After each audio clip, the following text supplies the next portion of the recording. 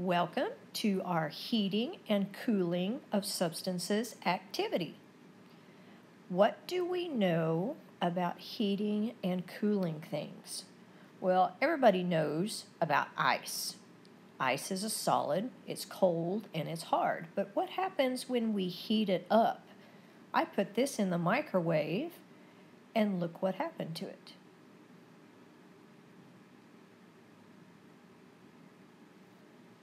And then I put it in the freezer to see what would happen next.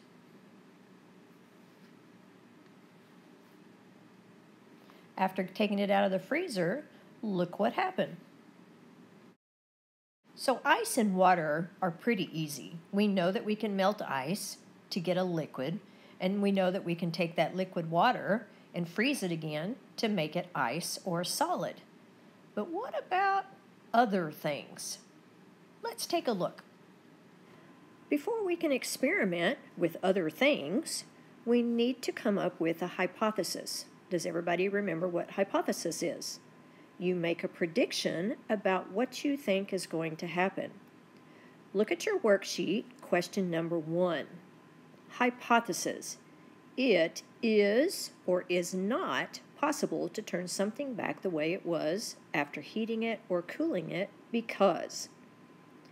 Pause the video and write your hypothesis. When you're ready, start the video again.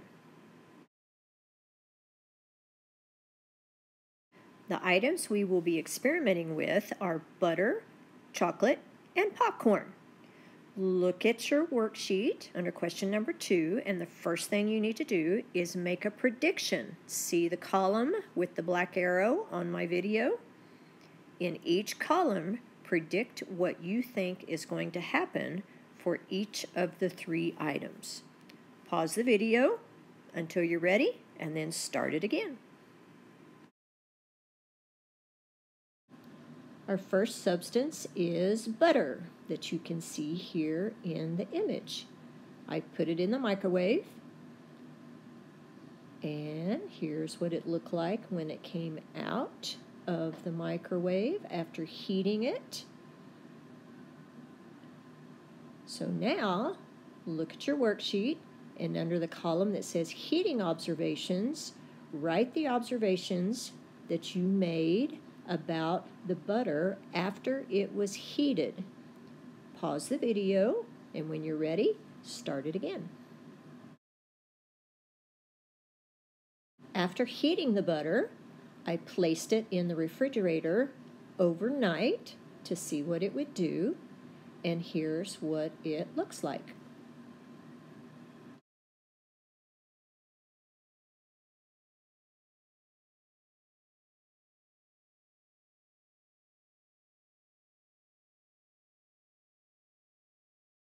In the last column on your worksheet, under cooling observations, write down what you observed after the butter was cooled. Pause the video, write your observations, and start the video again when you're ready.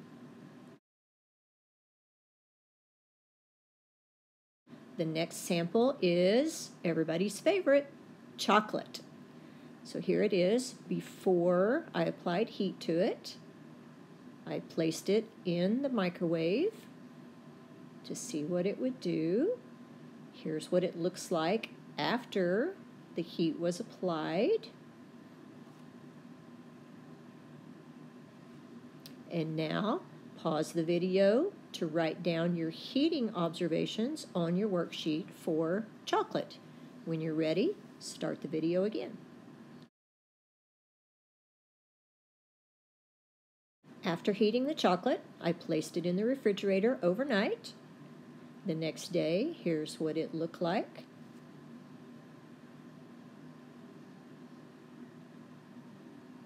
And when you're ready, pause the video to write your cooling observations for chocolate.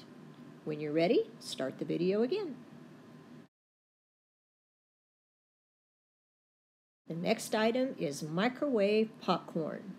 So here's what popcorn looks like before heat is applied to it.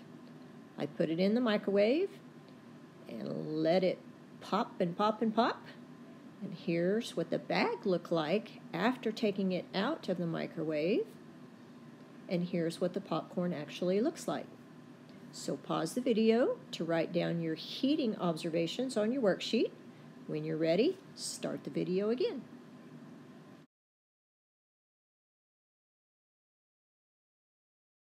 After popping the popcorn, I took a little bit out and put it in the refrigerator overnight.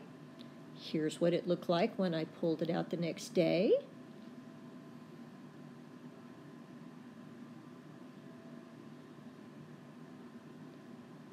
And now you can pause the video to write down your cooling observations on your worksheet. When you're ready, start the video again. So what did you learn from your experiment today?